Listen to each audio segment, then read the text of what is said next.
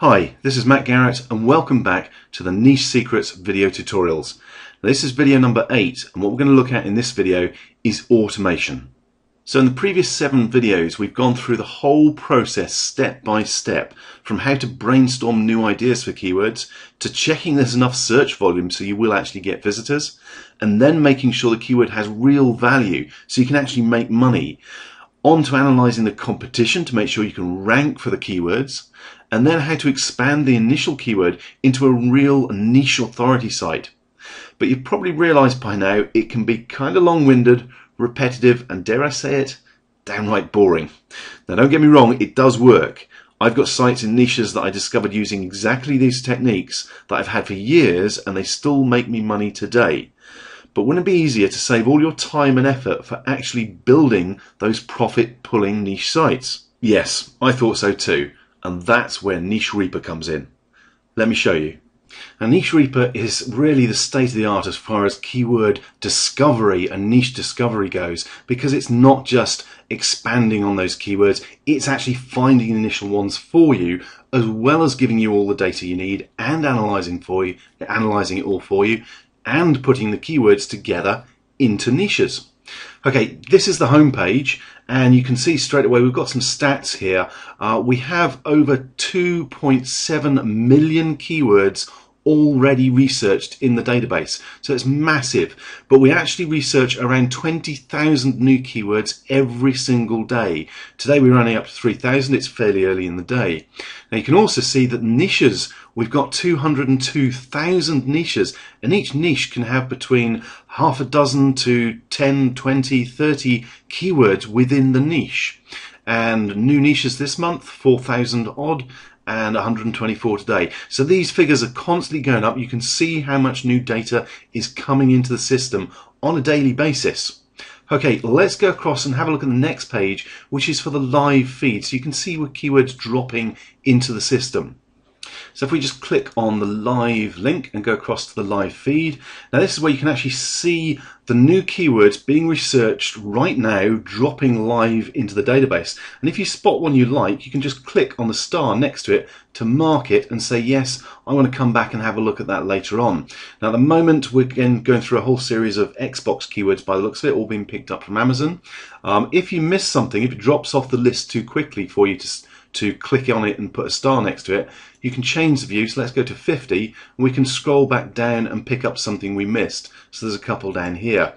Now this A next to each keyword shows that the data, the original seed data has come from Amazon. But we also look at Twitter for the live feed. We look at Yahoo Buzz, uh, Google Trends, all these different areas to get the live seed keywords to find brand new keywords and niches that we can actually pull the data in for. As you can see, it's zooming through quickly, picking up lots of new keywords. One word of warning here, this can get very addictive, just sitting here and watching the new keywords coming in and grabbing them as they do so. Okay, let's head across to the keywords page and have a look at that.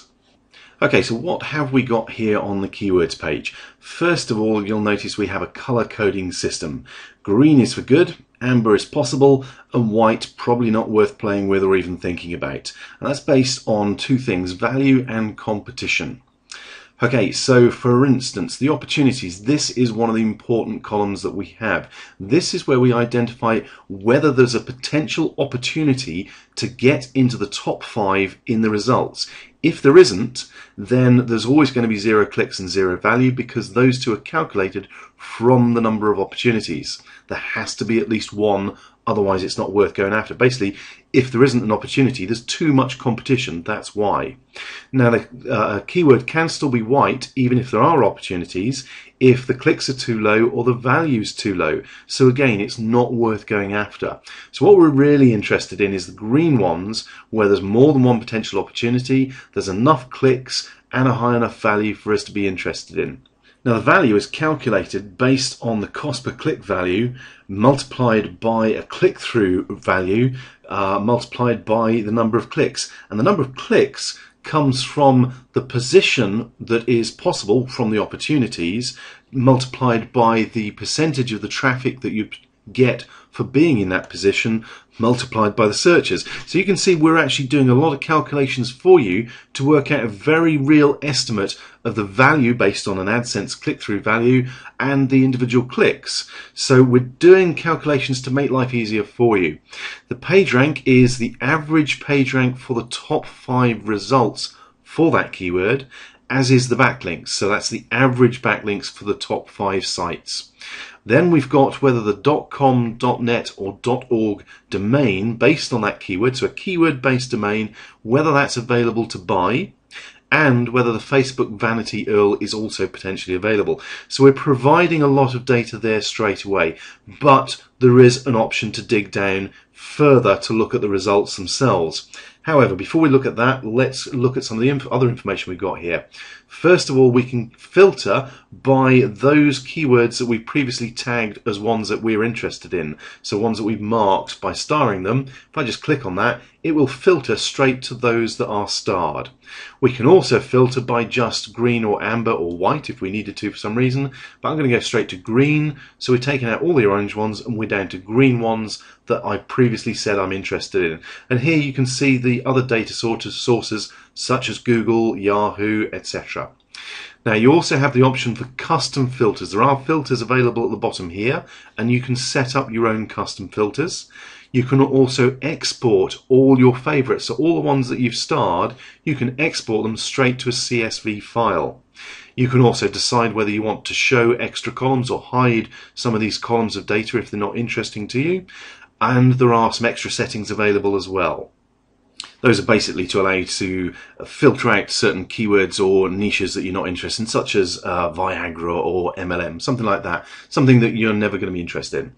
Okay, let's unstar so that we're getting all the greens and let's filter on some different values instead. So let's get right down to some good uh, information. Let's say we want all those with page rank of less than 2 and hit return. So that's now filtering us down to just those keywords with a page rank of less than two or an average for the top five results. It takes a moment to do because there is 2.6 million keywords in here. Uh, and let's say we also are only interested in those with over, let's say $2,000, uh, actually let's say 1500 oops, value per month and let's dig right down into that database and then we can just scroll through and see what results the system's brought up for us when it finishes filtering. Now obviously with 2.7 million keywords in the database there's plenty of scope to actually filter even more aggressively. So we could filter on let's say the number of clicks and say we want just those with over 2,000 clicks or even over 5,000 clicks. And this database is big enough to be able to deal with that and give you great results. Now, as you can see, just looking through here, there's some all sorts of keywords available. Swollen spleen, that's not something I would have thought of. Uh, CD cover size, tilt games, watch human centipede. Basically, the system is not only going to pick up those keywords that you would have thought of naturally, it's going to pick up ones that you wouldn't have thought of. That's the beauty of how the system is going out and doing this research for you and discovering domains that you wouldn't otherwise have think, thought of. And the point is, it then provides you with the data in such a way that you can straight away find out which keywords are high search volume, low competition, and high value. So bingo, you've got the information you need straight away. There's one here that uh, looks quite interesting. Increase customer retention. There's not a massive amount of searches, but what we can do is drill down to check the information for this particular keyword in a bit more detail. Basically what we're doing is taking a look at the top five results in Google for that keyword.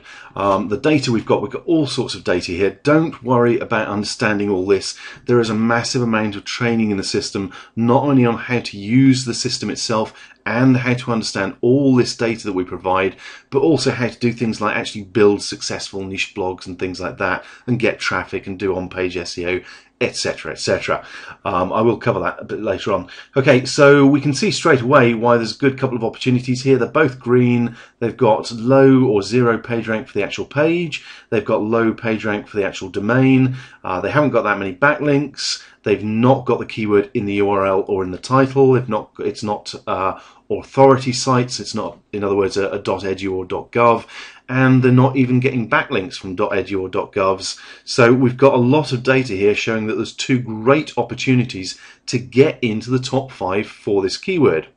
Okay, so what we can do now is we can actually go and see if there's uh, other keywords that are related, i.e. whether there is a full niche for this keyword. All we need to do is click on this icon here, which will go and find niches for this keyword. And here we go. So if we expand this, again by clicking on the icon here, this time we're actually in the niches page. So when we expand, we're not looking at digging down into the search results for a particular keyword, we're looking at all the keywords within a particular niche. Now you can see straight away there is a lot going on here in this niche. And that's the real point here. We're no longer looking at just a keyword. We're looking at a whole niche. So all these keywords are related. They're related keywords, LSI keywords. We can build up a niche authority site using all of these keywords. We've basically got a plan here for all the keywords we want to attack with our different blog posts or articles, the uh, keywords we want to use for anchor text, for our backlinks. It's all laid out for us. Um, if you scroll down a bit, you can see there are whites as well as greens and oranges. The white ones obviously potentially more difficult to rank for or they just don't have any value but there are plenty of green and orange here to go for. Now if I just un expand it again, just to go back to the niche itself, you'll see that on the niches page we have similar facilities. So you can filter by green, amber, white, you've got custom filters, you've got the settings, the showed high columns, etc. But the main set of data here at the top is different because for instance where we're looking at keywords, this is the number of keywords within this niche and it is just those that are green or amber. It doesn't include those that are white.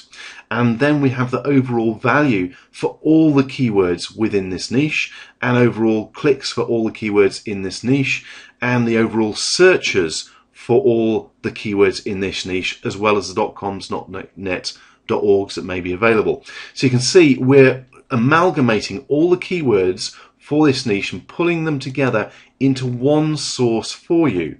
So, I mean, this is fantastic. You can then just ex export this straight into a CSV file and you've got not just your keyword research done, but your niche research done.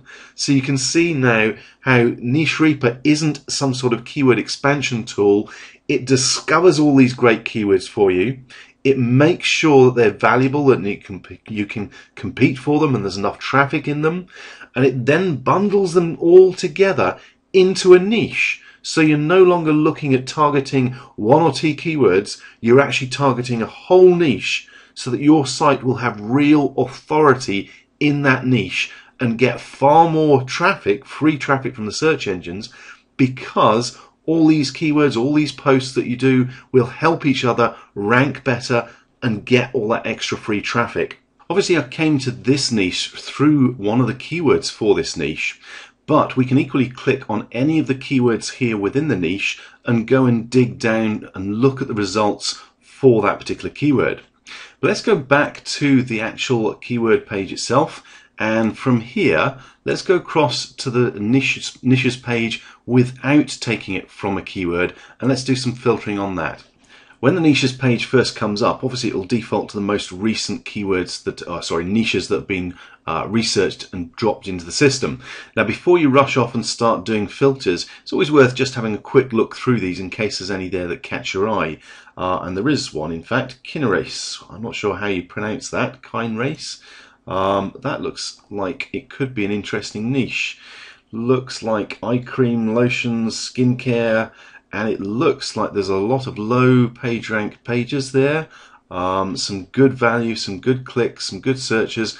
That's potentially a niche that I might want to start and come back to later on. Okay, but again, we've now got the option to do all the standard sort of filters that we did on the keywords. So we can go straight away just to those niches that are green.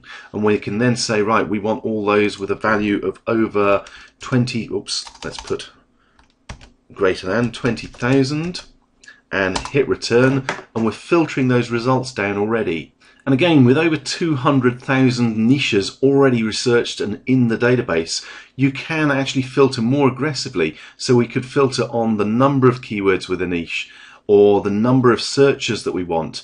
Um, but again, before you do so, always have a quick check through because uh, you'll spot some odd ones anyway. I mean, for instance, here, cerebral palsy, that's got 151 keywords. Now, that is a niche with phenomenal depth. You know, with 151 keywords within the niche, that has a huge amount of potential. Okay, so for instance, I would put, certainly uh, star that one. What I'd probably actually do is export it straight away to the CSV file and start working on it and register a domain. Um, but there's another one here as well, how to make a website. Now that I'm going to star, um, I do from personal experience know that that is a good niche. Uh, it is a valuable niche, not for AdSense, but for actually teaching people how to make websites. Um, there's plenty of ways you can monetize that. So even just putting in one simple filter and looking at the first page without going any more or even scrolling down, I found two great niches to work with. Although I guess I should actually say two more niches to work with and over 160 keywords. Now you can also sort by the different columns of information as well. So instead of just filtering, you could say I want to sort by the value or by the number of keywords, etc. I think by now you've got a real taste of just how powerful Niche Reaper is. Uh, it saves you time and money every step of the way, from doing that initial keyword idea and discovery for you, to digging out and checking the search volume and the values of the keywords, and then making sure that there are real opportunities to rank for that keyword, not just on the first page of Google, but in the top five results, as well as putting all that data right there at your fingertips whenever you want it. And don't forget, Niche Reaper isn't just providing keywords, it's putting all those related and LSI keywords together into one niche for you. So you can build true authority sites, dominate the search engine results, and grab even more free traffic. The time saving for you is just phenomenal. But that's not all. We've also got over 60 training videos built into the system covering everything you need to know. So no matter what your level of experience is, we've got you covered to make sure you get the very most out of your Niche Reaper membership. So from the tutorial videos showing you all about Niche Reaper itself and how it works and all the data that you get, to the training videos on how to set up your first niche site, including choosing a domain, finding hosting, setting up a blog, everything you need to know about getting a niche site up and running, to using Facebook fan pages, how to set up fan pages, how to get people to like them, how to get uh, the most out of the fan page and drive that traffic back to your niche site, how to leverage Twitter and get traffic from Twitter, how to get traffic generally from the search engines. So there's an introduction guide, there's a step-by-step guide, there's a whole series of videos specifically on different traffic techniques. There's also tutorials on monetizing your site. So there are different ways in which you can make money from your niche sites, from AdSense to Amazon to banner ads to eBay to affiliate marketing, CPA offers, list building, all of these are covered in the tutorial videos to make sure, as I said, you get the absolute most out of your Niche Reaper membership.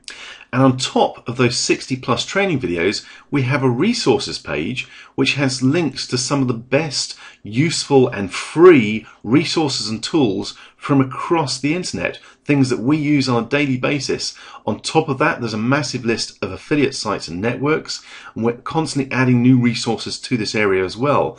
But on top of that, there's also extra member only free bonuses and tools, software, basically paid products of our own that we've put in here just for Niche Reaper members. And if I scroll down, you can see there's, I think there's up to 10 so far, um, and there's well over a hundred or $200 worth of software there and products for you just as free member extra bonuses. The only problem, as you'll see if we go across to Niche Reaper itself and hit refresh, so you can see this is live.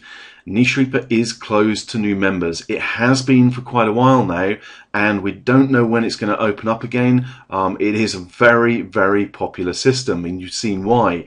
Now, the good news is that you're obviously on the priority waiting list. So if a spot does come up, you'll be contacted via email to let you know straight away. But if that happens, I highly recommend grabbing your spot straight away because they will go.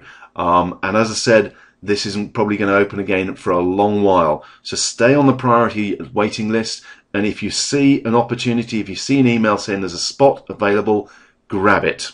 Okay, that's the end of the Niche Secrets tutorial videos. For the moment, we may add more in the future, but for the moment, that's the end of video 8. Thank you very much for watching, and as I said earlier, please keep an eye on your inbox just in case one of those spots comes up in Niche Reaper.